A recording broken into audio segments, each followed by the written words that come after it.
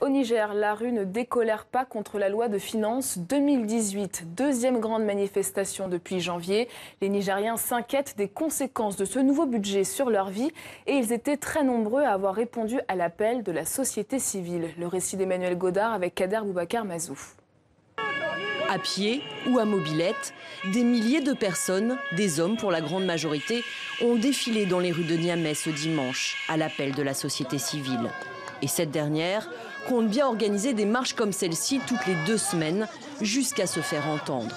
Elle réclame la révision de la nouvelle loi sur les finances 2018.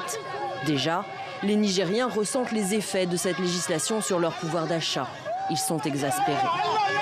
C'est le peuple qui souffre. En trop, c'est trop. Il faut qu'on mette fin. Il faut qu'on mette fin à cette situation-là. Et que Dieu observe. Il est le suprême. Le président, il est là. Il voit ce qui se passe. On ne doit pas continuer à le suivre comme ça. On fait partie de la population. Le Nigérien, il est là. Tout le monde est là. Et il faut qu'on continue. N'a qu'à se racheter rapidement. De nouvelles taxes, une hausse de la TVA.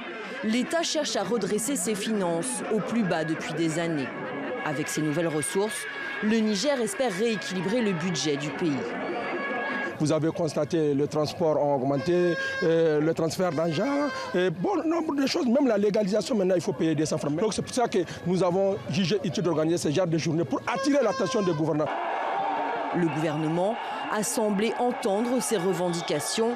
Pour limiter la contestation, il a demandé à certains opérateurs de transport, de chaînes câblées ou de transfert d'argent de geler la hausse des prix. Des discussions avec les ministères de tutelle doivent avoir lieu dans les semaines à venir.